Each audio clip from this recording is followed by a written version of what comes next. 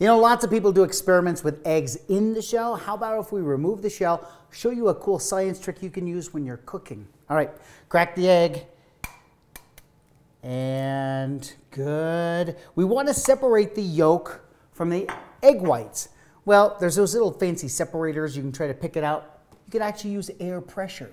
Now I'm using a, so, a water bottle. So what I want you to do is you squeeze the water bottle like this, put it over the top, and now trap the air and let go and allow the outside air pressure to pull up the egg like that.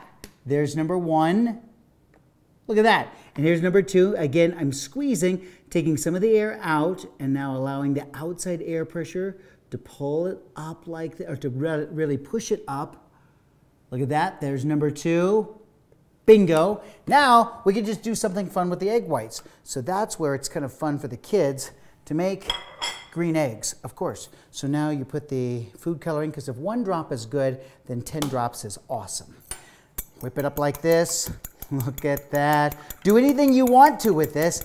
I don't know, from a cooking standpoint, you could do it whatever you want, but now we're gonna pour all of this into the pan. And here we go, look at this.